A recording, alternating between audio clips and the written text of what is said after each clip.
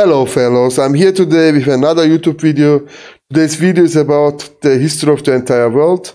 My son Arthur, Hi guys. he chose the video and we will respond together to them. Before the video starts, don't forget to subscribe, leave a like there and turn on the bell for more new informations, new videos to stay up to date. In the description, you can find also my other social media platforms like Facebook, Twitter, TikTok, Twitch. And in the near future, we will do together something about gaming.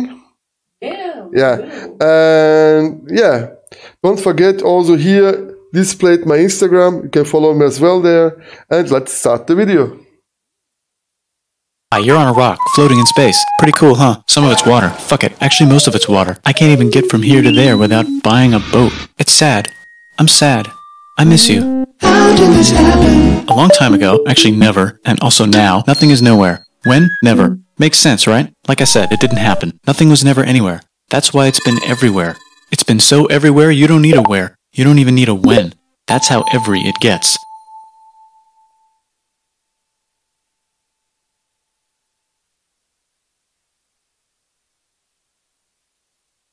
Forget this. I want to be something. Go somewhere. Do something. I want things to change. I want to invent time and space. And I know it's possible because everything is here and it probably already happened. I just don't know when to start.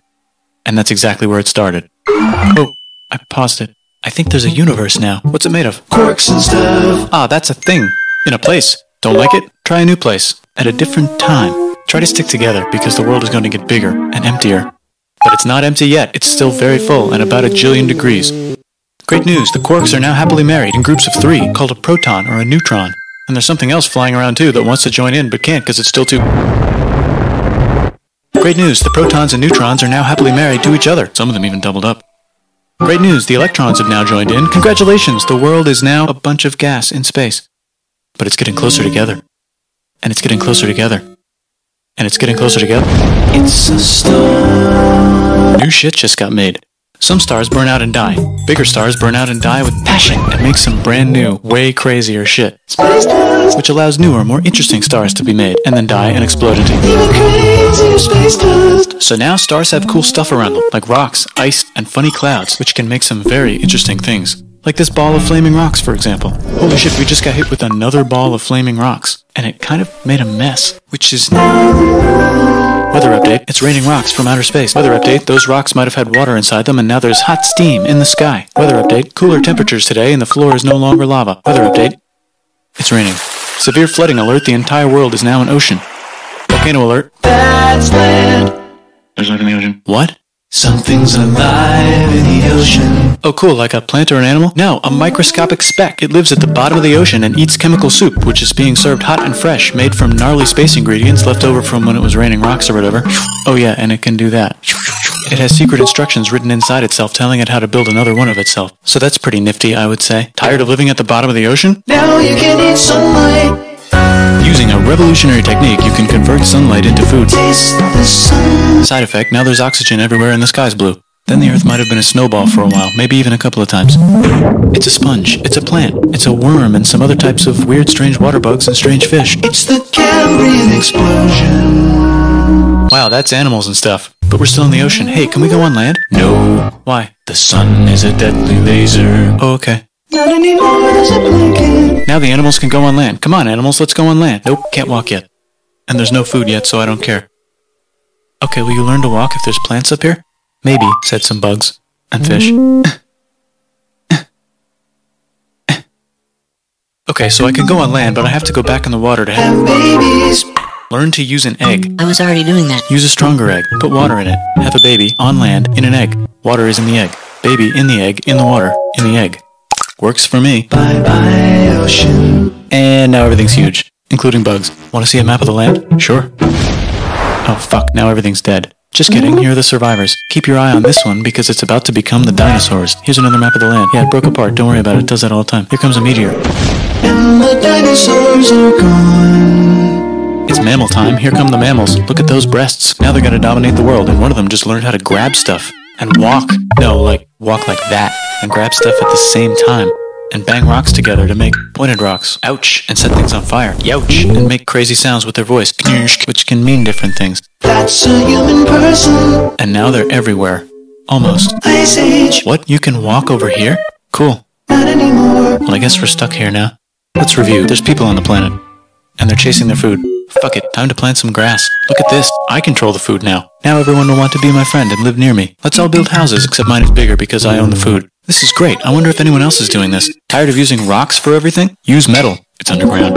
Better farming was just invented in a sweet dank valley right in between these two rivers, and the animals are helping. Guess what happens next? More food, and more people who came to buy the food. Now you need people to help make the food and keep track of the sales. And now you need houses for people to live in and people to make the houses. And now there's more people and they invent things, which makes things better. And more people come and there's more farming and more people to make more things for more people. And now there's business, money, writing, laws, power. Society.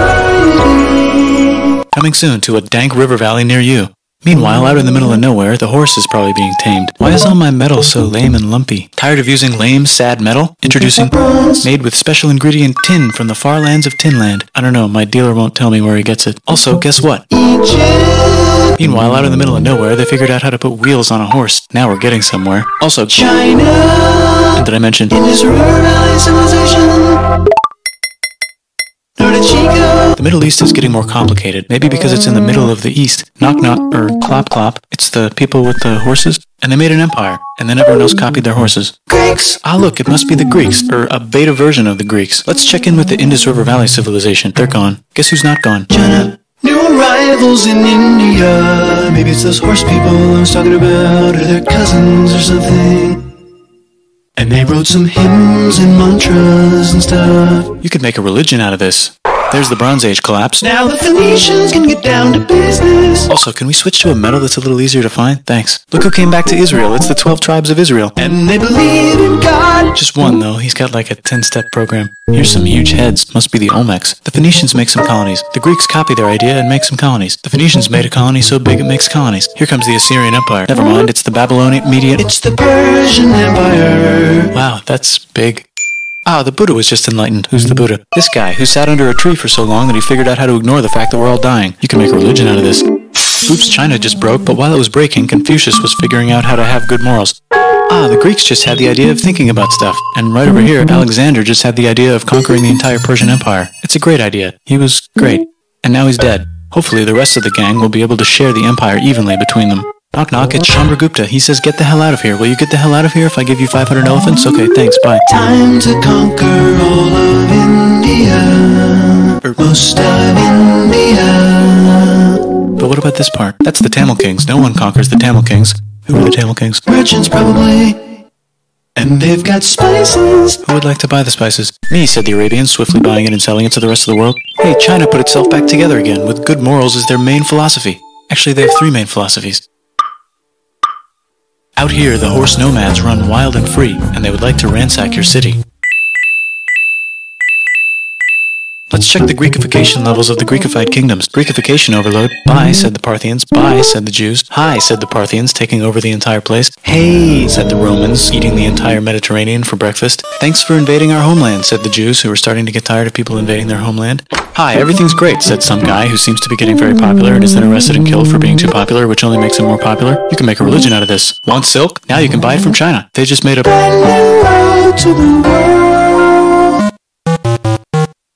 Or you can Get their own water. Sick, new trade routes, said India, accidentally spreading their religion to the entire southeast. Hmm, that's a good place for an epic trading kingdom. There goes Buddhism traveling up the Silk Road. I wonder if it'll reach China before it collapses again. Remember the Persian Empire? Yep, said the Persians, making a new one. Axum is getting so powerful they would like to build a long stick. Has anyone populated Madagascar yet? Let's do it together. China's home again. Still can't cross the Sahara Desert? Try camels, Hell yeah, now we got business. said the Ghana Empire, selling lots of gold and slaves. Hi, I live in the Roman Empire, and I was wondering. Is loving Jesus legal yet? No.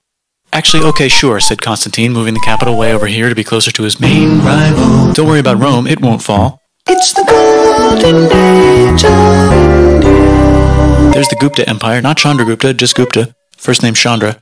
The first. Guess who's in Rome? Barbarians. What's a barbarian? Non-Romans, said the Romans, being invaded by non-Romans. R.I.P. Roman Empire. Or actually just half of it. The other half is just fine, but it's not in Rome anymore, so let's give it a new name. The The Mayans have figured out the stars. Oh, and here's a huge city, population everyone. The Gok Turks have taken over the entire Eurasian steppe. Great job, Gok Turks. How's India? Broken. How's China? Back together. How's those trading kingdoms? Bigger and there's more of them. Korea has three kingdoms. Japan has a kingdom, it's the Sunrise Kingdom. Deep in the Arabian desert, on the top of a mountain, the real God whispers in Muhammad's ear. So he goes down to the cube where everyone worships gods and he tells them their gods are all fake. And everyone got so mad at him that he had to leave town and go to a different town. You can make a religion out of this and maybe conquer the world as well. The Roman Empire is long gone, but somehow the Pope is still the Pope. Plus there's New kingdoms all over Europe. I wonder if there's room for Moors. Here's all the wisdom. In a house. It's the Baghdad House of Wisdom. Just in time for the Islamic golden age. Let's bring stuff to the coast and sell it and become the Swahili on the Swahili coast, said the Swahili on the Swahili coast. Remember this tiny space you have to go through to get from here to there? Someone owns that now. Want to get enlightened in the middle of nowhere? The Franks have the biggest kingdom in Europe, and the Pope is so proud that he invites the king over for Christmas. Surprise, you're the new Roman Emperor, said the Pope, pretending to still be part of the Roman Empire. Then the Franks broke their kingdom into what will later be called France and not France. The Northerners, or just Norse if you don't have much time, are exploring. They go north, from the north to the northern north, and they find some land, two types of land, and they name them accordingly. They also invade some other places and get called many names, such as Vikings. There's the Rus, the Kievan Rus. Are they Vikings? I don't think so, said the Kievan Rus. Okay, fair enough. The Pope is ready to make some more emperors of the Roman Empire, the Holy Roman Empire. It's actually Germany, but don't worry about it. New kingdoms. Christianize all the kingdoms. Which brand would you like? Mine's better. Mine's better. Mine's better. Time to conquer England, said William. It's a bird, it's a plane. It's the Seljuk Turks. said the Byzantine Empire, who's getting so small it almost doesn't exist anymore. We need help. They need help, so they call the Pope. Hey, Pope, can you help us get rid of the Seljuks? Maybe take back the Holy Land on the way? Come on, I know you want to take back the Holy Land. Yes, I do actually want to do that. Let's do a crusade. Crusade. They did many crusades, some of which almost didn't fail, but at least the Italians got some sweet trade deals. Goodbye, Mayans. Hello, Toltecs. Goodbye, Toltecs. Hello, Mississippi. Look at those mounds. There's the Pueblo. I always wondered how to build a town in a cliff. Guess who's here? Come here. Where? Here. And Pagan is there. Vietnam unconquered itself, Korea just became itself, and Japan is so addicted to art that the military might have to take over the government. China just invented bombs and typing. And the Mongols just invaded most of the universe. Nice going, Genghis. I bet that will last a long time. Some of the Islamic Turks were unaffected by the Mongol invasions because they were busy invading India. Is it Tonga time? I think it's Tonga time. I just found out where the Swahili gets all their gold. Look at this Chad. Means lake. There's an empire there. Right in the middle of The king of Mali is so rich he's going on tour to let everyone know. Wow, that guy's rich, everyone said. The Christians are doing a great job reconquering Iberia, which will soon be called Spain and not Spain. Please remain Christian. We will check in later to see if you're still Christian when you least expect. Whoops, half of Europe just died. China's back, yay! Hey, come here, time to share. New kingdoms here and there. Oh, look who controls all the islands. It's the Mahajapit, Majahapit, Mapajahit, Mahapajit, Mapajahit, Majapahit. Oh, Italy's really rich. Time for them to care a lot about art and the ancient classics. It's kind of like a rebirth. Here's a printer, let's make books. So you think you can conquer the Byzantine Empire? Yep, said the Ottoman Turks. Nice job, Ottoman Turks. Oops, you missed a spot. Don't forget to ban Europe from the Indian spice trade. What? That's bullshit, said Portugal, spiceless. Well, I guess we'll have to find another way to India. Wait, said Christopher Columbus, probably smoking crack. If the world is round, let's go this way to India. No, don't worry, we already got this, said Portugal. So Chris goes to Spain. Hey, Spain, want to hire me to find India by going around back of the world? No, please, no, please, no, please. Okay. So he sails into the ocean and discovers more ocean, and then discovers the Indies and Japan. Let's draw a line to decide who gets which half of the world. The Aztec and Inca empires are off to a great start. I wonder if they know that Europe just discovered their continent. The Habsburgs are marrying into so many royal families they might have to start marrying each other. Move over, Lithuania. Here comes Moscow. Ivan wants to make Russia great again. Move over, Timurids. Maybe go invade India or something. Persia just made Persia Persian again. Let's make it the other kind of Islam. The one where we thought the first guy should have been the other guy. Hey Christians, do you sin? Now you can buy your way out of hell. That's bullshit. This whole thing is bullshit. That's a scam. Fuck the church. Here's 95 Reasons Why, said Martin Luther in his new book, which might have accidentally started the Protestant Reformation. You know what would be magnificent? said Suleiman wearing an onion hat. What if the Ottoman Empire was really big, which it is now? What if Russia was big? said Ivan, trying not to be terrible. Portugal had a dream that they controlled the entire Indian Ocean, including the spice trade. And then that dream was real. And Spain realized that this is not India, but they pillaged it anyway. Damn, said England and France. We gotta start pillaging some stuff. Then the Dutch revolt and all the hipsters moved to Amsterdam. Damn, said Amsterdam. We gotta start pillaging some stuff. Question 1. Can you get to India through North America? No, but at least there's beaver. Question 2. Steal the spice trade. That's not a question, but the Dutch did it anyway.